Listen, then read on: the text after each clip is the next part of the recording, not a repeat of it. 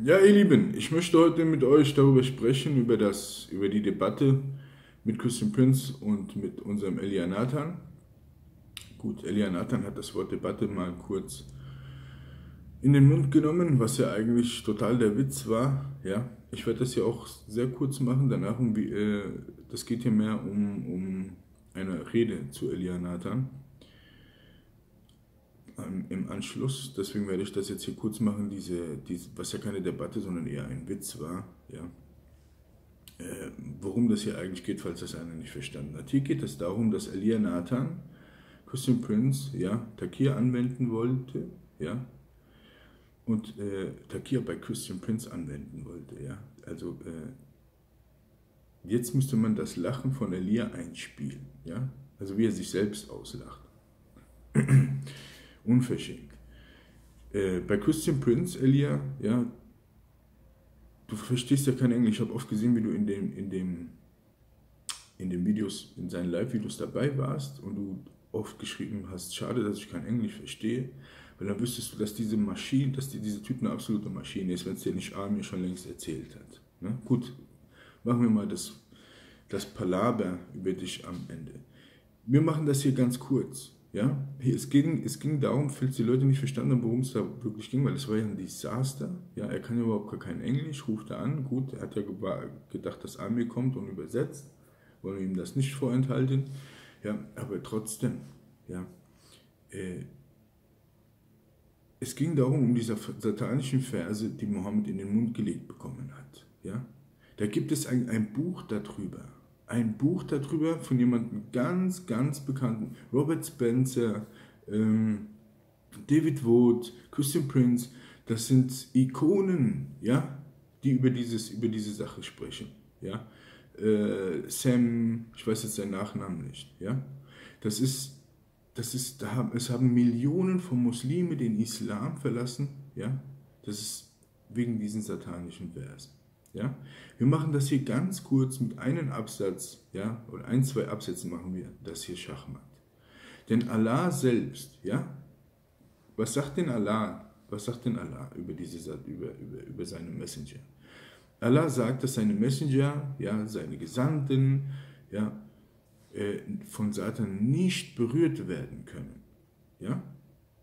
Der Einzige, der von Satan nie berührt worden ist, ist Jesus Christus, hier auf der Welt. Gott, klar, sowieso nicht. Ja? Wir reden hier von auf der Welt, Gott kam in die Welt, das Fleisch, das Wort wurde Fleisch, das Fleisch wandelte unter uns. Ja? Am Anfang war das Wort, das Wort war bei Gott, das Wort war Gott, ja? wurde Fleisch, Gott kam in die Welt, zu uns. Ich bin nicht von dieser Welt, trotzdem komme ich zu euch, um euch eine Möglichkeit zu geben, aus eurer Sünde, ähm, euch von eurer Sünde zu befreien. Wenn ihr an mich glaubt, seid ihr errettet. Ja? Und so weiter. Simpel. So. Der einzigste war dieser, der auf dieser Welt das Wort Gottes nicht von Satan berührt worden ist. Und hier nochmal ein kurzes Antwortvideo. Eine Frage stimmt, lieber ähm, äh, äh, Paki, Türk, Islam, Islam. Stimmt, eine Frage habe ich vergessen, dir zu antworten. Das stimmt, weil du geschrieben hast, ich hätte alle Fragen äh, äh, nicht, nicht angewortet, nicht, nicht, nicht beantwortet oder hin und her. Doch, jede einzelne, du hast wieder gelogen, ja, in deinem Video wieder gelogen, Dr. Wilpert. Sag mal, denkst du, sag mal, seid ihr wirklich so behindert? Entschuldigung, aber seid ihr wirklich so behindert? Ich gucke doch, was du redest und was du sagst. Und die anderen sehen doch auch und sehen dann ganz genau, dass ich dir jede Antwort befragt habe. Eine habe ich vergessen, wahrscheinlich überlesen, das kann ja mal passieren. Eine einzige wie kann das sein, dass Jesus Christus, wenn er Gott ist, sich von Jesus verführen lassen hat? Gott war ganz Mensch und ganz Gott. Ja? Wahrscheinlich hat das nicht mal Satan gerafft. Ja? Denn Satan ist ein Engel. Wir sind Menschen. Ja? Äh, Satan ist auch kein Gott. Ja? Ist auch nur ein Engel. Wahrscheinlich hat er das auch nicht ganz gerafft. Ja? Weiß ich nicht, kann ich dir nicht äh, äh genau sagen, ja? Dass, wie er sich gewagt hat, Gott zu verführen. Ja, stimmt, das ist auch ein mittel, mittelgutes Kriterium, dass man fragen kann, wie kann Jesus ihn verführen, äh, wie kann Satan Jesus verführen. Ähm, Paki, ja, Paki, Türk, Islam, Islam. Jesus, er hat es halt gemacht, hat es nicht geschafft und hat ihn ganz klar ermahnt, ja, und hat ihn ganz klar ermahnt,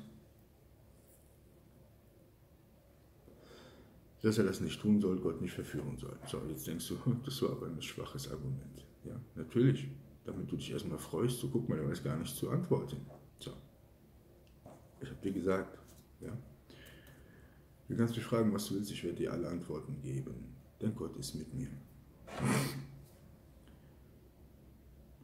Satan betete Gott an einem Stück 12.000 Jahre an und einmal 30.000 Jahre an. Die Engel beten ständig Gott an, aber an einem Stück, ohne irgendwas anderes, ja, keine Trompeten oder sonst was zu machen oder was auch immer die Engel machen, ja, an einem Stück, 12.030 Tage, 30.000 Jahre lang, so. Und Satan, als Gott ihn dann, ja, verbannte, sagen wir mal, hat Satan Gott darum gebeten, guck mal, was ich alles das, sinngemäß, dass man es versteht. Dass man es versteht. Ja, bei mir immer, dass man es versteht. Satan hat Gott darum gebeten, Satan hat Gott darum gebeten, weil er ihn so viel für Gott auch getan hat. Ja, es stimmt, er war einer der besten Engel, darum, da kam, daher kam jetzt sein Edelmut, sein Hochmut, seine Arroganz, weil er dachte, er wäre der Beste, so ungefähr, denke ich mal. Ja, wir haben auch nicht, ja, und ähm, und, und wurde dann arrogant und hin und was, ich soll für einen Menschen, ich soll mich für einen Menschen verbeugen. Du hast uns aus Feuer gemacht und den Menschen aus Erde, wobei beides Elemente sind und das Feuer der Erde überhaupt gar nichts anhaben kann. Ne? Das Feuer kann der Erde nichts anhaben. Ja? Wenn, sie, wenn das Feuer nicht selbst von Gott gemacht ist, ja, dann ist ein anderes Feuer. Gut, ähm, verstehst du? Mineral. Und äh, hier ganz klar, ich tue extra ein bisschen drum herum reden, dass du dich freust, ja. Ich bin ja auch so ein bisschen, mache ja auch manchmal so ein bisschen, ja, und dann am Ende den Knockout zu geben. Ja, falls du denkst, du guck mal, ja, der kann gar nicht antworten. Keine Sorge, ich kann immer antworten. Ja. Und ja, ich freue mich über Esel. Es macht Spaß, manchmal Esel ein bisschen äh, in die Irre, äh, nicht in die Irre zu führen, das machen wir nicht, sondern äh, sich freuen lassen, ja, so und dann, ja, pam, Knockout. Das macht auch, tut mir leid, ja, macht mir halt eben Spaß.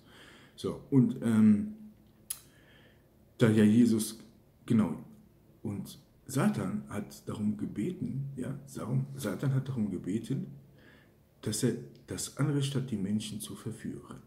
Ja? Weil er so viel für Gott auch getan hat. Und Gott sagte, weil er gerecht ist, aus seiner Gerechtigkeit heraus, ja, hat der Satan ihn erlaubt, hat Gott den Satan erlaubt, den Menschen zu verführen. Jetzt würdest du, wirst du natürlich wieder sagen, wie kann Jesus äh, verführt werden von Gott, wie kann, Menschen, wie, wie, kann Gott das alles zulassen? Wieso erlaubt er das, dass Satan versucht, Jesus zu verführen und, den, und die Menschen zu verführen? Was ist das für ein Gott? Normal, das ist Gerechtigkeit. Ja? Gott hätte Satan auch zerstören können, aber dann wäre er nicht gerecht. Ja? Denn auch wir Menschen machen Fehler, auch wir Menschen sind Sünder. Und wir haben nicht, nicht, wir Menschen haben nicht mal, ich erkläre dir das, aber diesmal ohne Drumherum, sondern gleich Schachmatt. Ja? Wir Menschen leben nicht mal ein Bruchteil eines Bruchteiles, eines Bruchteiles, eines Bruchteils, eines Bruchteils eines Engels auf dieser Erde. Wir haben nicht annähernd das getan, was ein Engel für Gott macht. Ja? Nicht annähernd. Wir können mehrere Dinge tun, weil wir können das Wort verbreiten, anderen Menschen vergeben, ihnen helfen. Wir können in der, in der, ja, in dem Spektrum, in der Spek im Spektrum nenne ich das mal, mehrere Sachen tun, ja, weil die, Gott, die Engel sind hauptsächlich da, um Gott anzubieten, ihn zu huldigen, ja. Die haben nicht so ein breites Spektrum wie wir, das, aber Sie haben tausende Jahre Gott, für Gott schon getan. Ja? Sind auf die Erde gekommen und haben den Menschen Nachrichten ver verbracht und sowas. Ja? So. Und wir nicht. Ja? Und Gott hat aus Gerechtigkeit, ja, Satan, der früher der Engel war, ja, ihm, weil er so viel getan hat schon für Gott, ihn aus Gerechtigkeit erlaubt, das zu tun. Denn uns, die wir nicht mal eines, ein Bruchteil eines Bruchteils eines Bruchteils eines Bruchteils eines Bruchteils ja, leben, solange wir, solange wir ein Engel, was haben wir schon für Gott getan? Und dennoch tut er aus Gerechtigkeit die Gnade Jesus Christus schicken, dass wir eine Chance haben, in den Himmel zu kommen. Obwohl, was haben wir schon getan? Verstehst du? Das ist die Gerechtigkeit Gottes. Er ist gerecht. Ja? Denn Satan hat nicht gesagt, lass mich auf die Erde kommen und die Menschen töten. Lass mich auf die, Menschen, auf die Erde kommen und die ganzen Bäume zerstören, dass die Menschen nicht mehr atmen können. Er hat gesagt, er wollte das Anrecht haben, dass er uns verführen kann. Jetzt wirst du natürlich, wie gesagt, sagen, wie was das für ein Gott. Ja? Nochmal, das ist die Gerechtigkeit. Ja? Wir sind große Sünder, wir Menschen. Wir sind große Sünder und trotzdem haben wir Gerechtigkeit von Gott. Also hat ein Engel auch erst recht Gerechtigkeit von Gott, der tausende Jahre Gott gehuldigt hat, dann einen Fehler gemacht hat und verbannt wurde. Wir machen Fehler, nehmen den Sohn an, ja, und bekommen, da, die, bekommen die Gnade und sind errettet, ja, weil wir an die Gnade Jesus Christus glauben, okay? So, mein Lieber. Und jetzt kommt's. Jesus war halb Mensch, halb Gott. Er hat hier den Jesus Christus Mensch versucht zu verführen, nicht den Gott. Schachmat, Digga. Schachmat. Er hat hier den Mensch, er war 100% Mensch und 100% Gott. Er hat hier den Menschen versucht zu verführen. Er war 40 Tage ja, in der Wüste. Ja? Der hat äh, lange nichts gegessen, der hat nichts zu trinken gehabt und hat die Schwäche des Fleisches versucht auszunutzen. Ja? Und versucht, die Schwäche des Fleisches zu verführen. Doch er vergaß, dass ganz Gott, sein Geist, Gott ist das Wort selbst, in Jesus Christus ist. Wenn du mich siehst, siehst du den Vater. Ja? So, schau mal, Digga. Entschuldigung, so viel drumherum. Ich wollte, dass du dich erstmal ein bisschen freust, aber du siehst, no chance gegen Christen, mein Freund. Alles klar? Gib's auf. So, Entschuldigung, soll nicht arrogant klingen, es ist einfach nur so. Die Wahrheit. So, wir kommen zurück.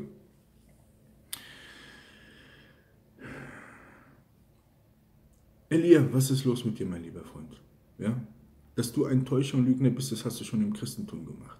Als du deine Freundin, ja, äh, äh, Ex-Muslima verlässt den Islam und hast sie dann in, in, in Tüchern und hin und her verdeckt, in, in ja, äh, da sitzen lassen und babbeln lassen und habt dann da geredet. Ja, du hast das Täuschen und Lügen schon im Christentum gemacht. Ja? Warum habe ich dann auf den Videos gut von dir geredet? Das Gute behaltet, das Schlechte verwerft. Ich habe dich schon vor einem Jahr ermahnt. In, vor einem Jahr habe ich dich schon ermahnt und ganz klar Kosovo erwähnt, weil ich nicht mag, Namen zu nennen. Ich tue einen Christen persönlich nie angreifen. Ich habe aber, weil ich genau wusste, ich wusste es, irgendwann mal passiert ein Ding, ja, dass ich dann auch einen Bezug habe und dir in dem Video, ja, und gesagt, du bist doch Kosovare, dass du genau weißt, dass dieses Video an dich ging. Und, ja, was Schlechtes war, habe ich ermahnt. Und was Gutes war, habe ich auch gut gesprochen. Denn wenn du, du hast dein Werk getan, du bist, ob du bewusst, unbewusst, aus guten Herzen, aus schlechten Herzen, was auch immer, nur Gott kennt dein Herz, du rumgerannt bist und die Menschen sogar auch bekehrt hast zum Christentum, bestimmt hast du das gemacht, den einen oder anderen. Ja? Das ist ja ein gutes Werk. Ja? Dann rede ich davon natürlich gut. Aber das Schlechte ja, dass einer mir jetzt nicht sagt, wieso hat der, redet der jetzt auf einmal so? Nein, vor einem Jahr habe ich dich schon ganz, habe ich dich schon stark ermahnt, dich angeschrieben, vor einem halben Jahr schon deabonniert, dir schon geschrieben auf, in deinen Channels und so weiter. Ja, ich bin hier kein Heuchler. Ja, jetzt auf einmal, weil Elia so ist, gehe ich hier so ab. Nein, vor einem Jahr habe ich schon vor Leuten wie Elia gewarnt. Vor euch Gesetzlosen. Ja, ihr Gesetzlosen. Ihr wollt nicht mal, ihr glaubt an einen Gott, ja, der auf einmal einfach sich selbst, sein Sohn kommt und das Gesetz abrogiert, ja, äh, einfach das Gesetz abrogiert. Also er widerspricht sich selber. Ja? Ein Gott wieder gibt ein Gesetz und dann löst er das Gesetz wieder auf. Ja, er hat doch einen neuen Bund gebrochen, äh, gebracht. Er hat doch einen neuen Bund gebracht. Tut ein neuer Bund den alten Bund aufheben oder ist der neue Bund ja, einen anderen Weg, den wir einschlagen können, der, weil wir den alten Bund nicht einhalten können, der neue Bund uns erlöst, die Gnade ist, doch aber nicht abrogiert worden ist. Denn der neue Bund, ja, durch den neuen Bund, haben wir einen neuen Weg. Jesus Christus, die Gnade, ja, weil wir den alten Bund nicht halten können, weil wir das alte Gesetz nicht halten können, bekommen wir einen neuen Bund. Das heißt aber nicht, dass das alte Bund deswegen jetzt abgeschafft ist. Das heißt, wenn wir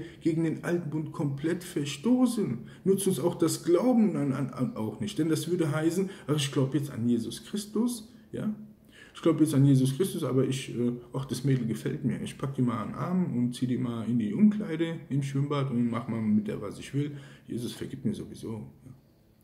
So einfach. Dieses Gesetz, wir reden von diesem Gesetz, das zählt. Denn Gott wird dich nicht in den Himmel kommen lassen, wenn du an Jesus Christus glaubst. Ja? Und äh, sagst, ich kann eh machen, was ich will. Das ist nämlich, ja, mit, was passiert mit euch Gesetzlosen. Schau dich an, wo du jetzt bist. Hm?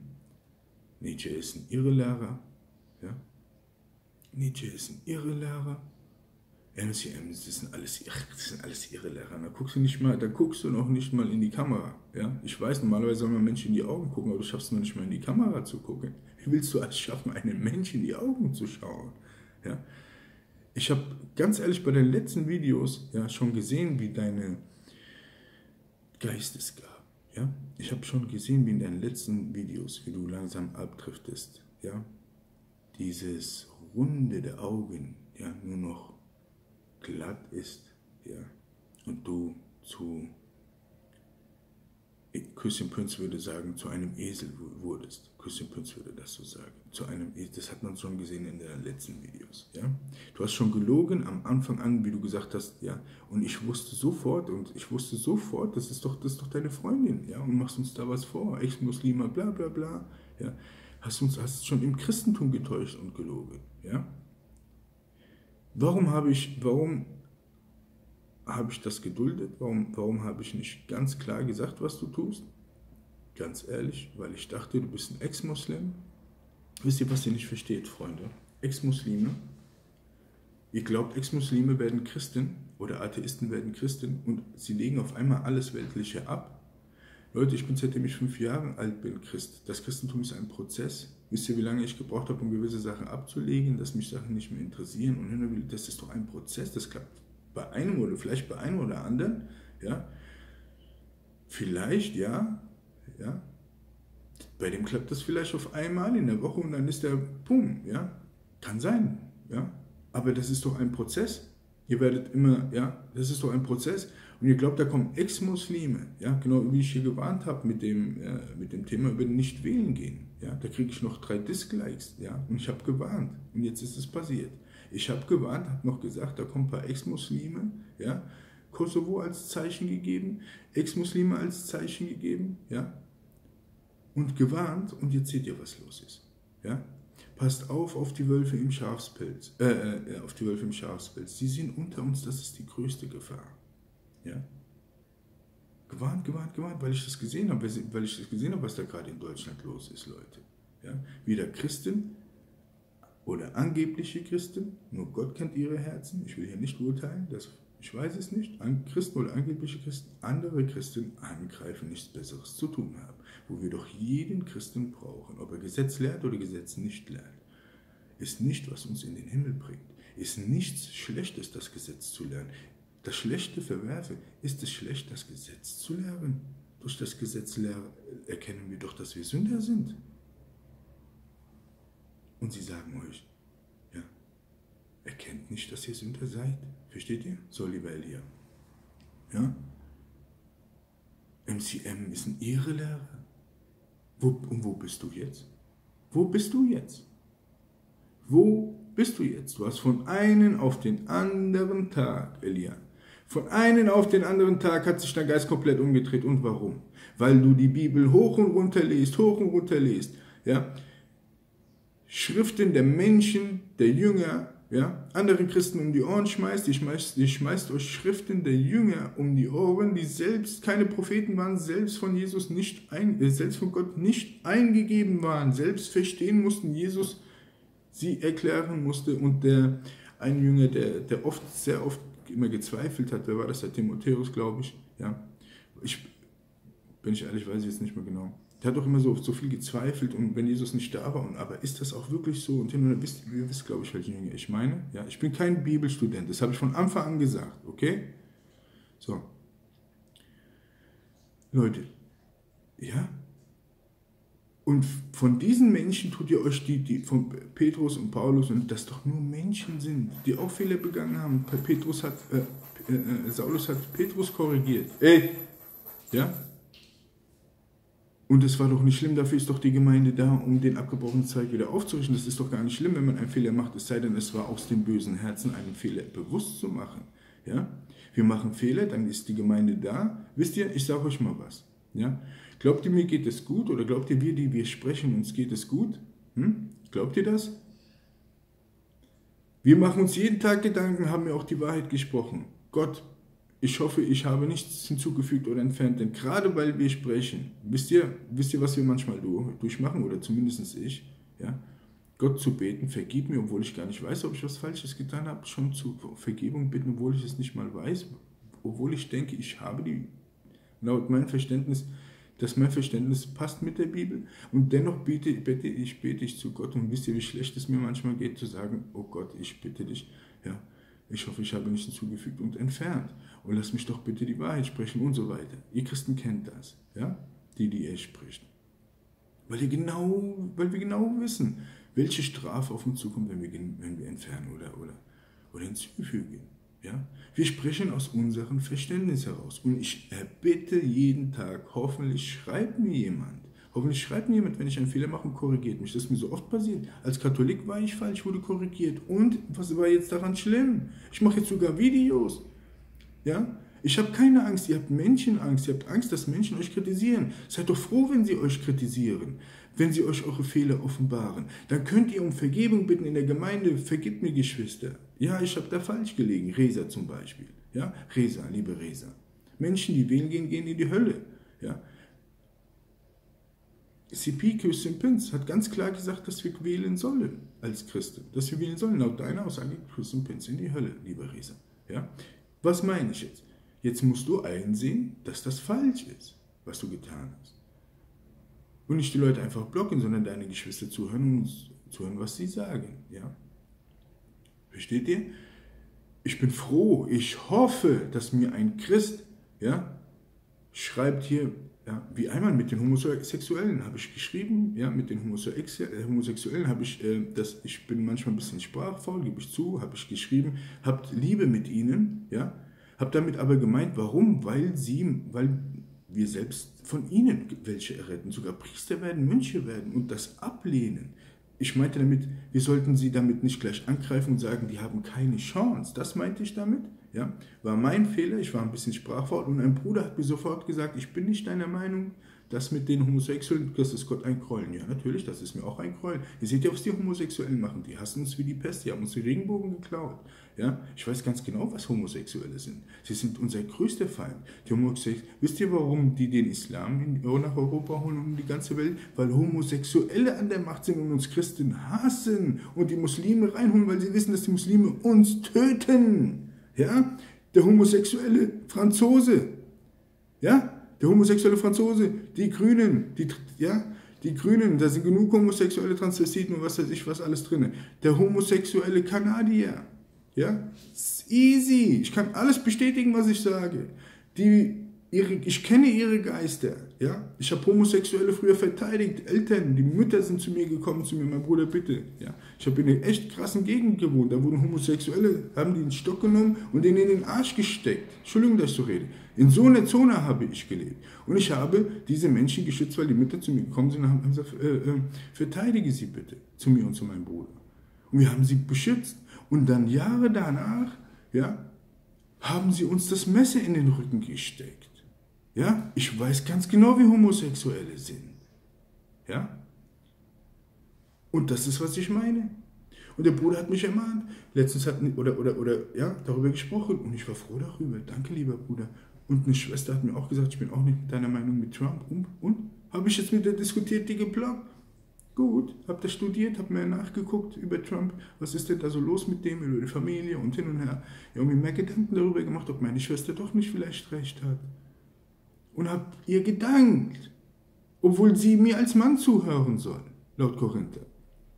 Ihr habt Menschenangst. Seid froh, wenn Menschen euch was erzählen, lieber Resa. Gut. Entschuldigung, aber ich habe heute, ich habe wirklich sehr viel, sehr viel zu reden, sehr viel zu sprechen. Ich mache jetzt hier, glaube ich, ein ganz langes Video äh, oder in mehreren Teilen. Ja? So, kommen wir zurück auf, auf, das, auf diese Debatte, die ja nur ein, ein, ein, eine Katastrophe war. Ja? Lieber, lieber ich habe schon deinen Namen vergessen, du bist ja, du bist mich schon raus aus meinem Geist. Elia Nathan, ja. Von einem Tag auf den anderen, ja.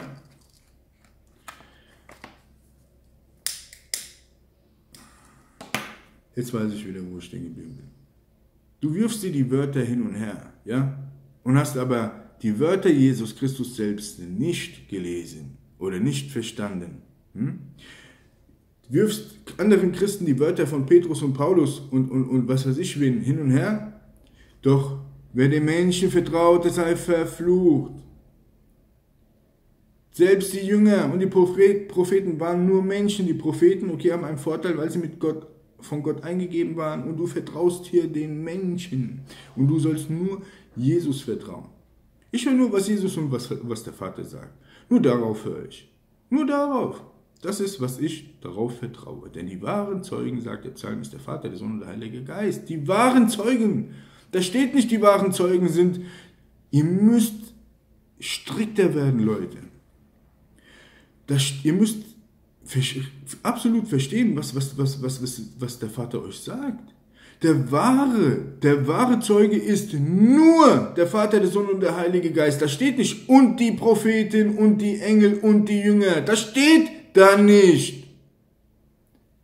Nehmt, um Gottes Willen, ich will die Jünger nicht tief machen oder die Propheten, um Gottes Willen, versteht mich nicht falsch.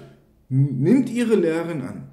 Überprüft im Geiste, was uns unsere Jünger gesagt haben. Ja, ihre Lehren, die Propheten, dies und das. Ja, im Geiste, ob das mit Gott übereinstimmt, was dann Jesus später sagt, was wir durch Johannes lernen. Ja, und so weiter. Ja, das hat er auch nur ein Mensch gesagt.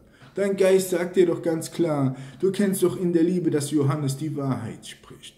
Durch deinen Geist überprüft den Geist. Wenn wir die Bibel lesen, wenn wir die Bibel lesen, in der Bibel überprüfen, erkennen wir durch den Geist, dass Johannes die Wahrheit spricht, denn es ist absolute, hundertprozentige, pure Liebe. Ja? Liebe deinen Feind, liebe deinen Nächsten, tu nicht dem, was der, tu nicht einem an, was, was du nicht weißt, was dir angetun wird. Ja? Äh, mit dem Stein, ja, der, der zuerst, der, ja, der, der ohne Sünde ist, soll den ersten Stein werfen. Was, was für Wörter, Alter, ja? Steht ihr? Einstein, Albert Einstein. Niemand sprach so göttlich wie Jesus Christus, hat Albert Einstein gesagt. Und er glaubte einen ganz anderen, so einen, so einen universalen Gott, irgendwas anderes. Der glaubte, der jetzt nicht unser Gott an der Bibel, aber er war auch gottgläubig.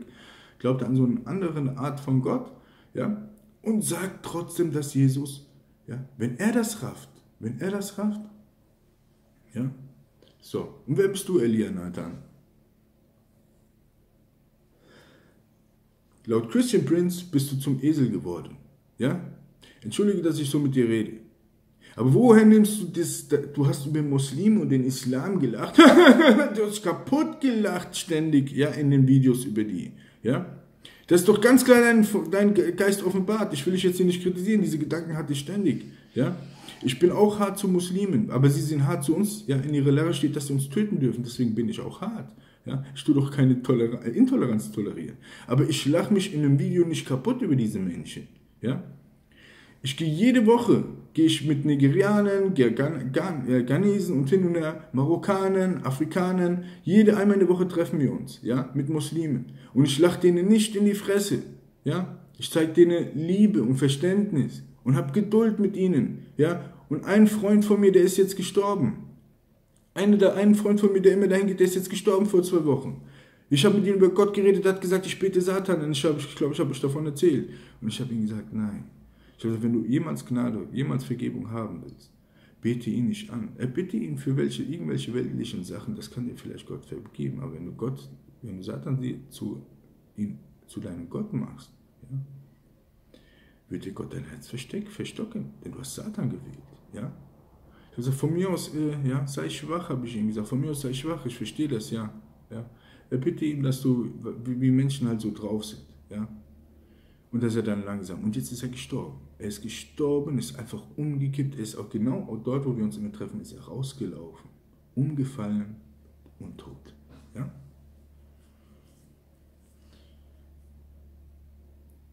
Ist das nicht traurig, dass diese Menschen in die Hölle gehen? Und du lachst? Hm?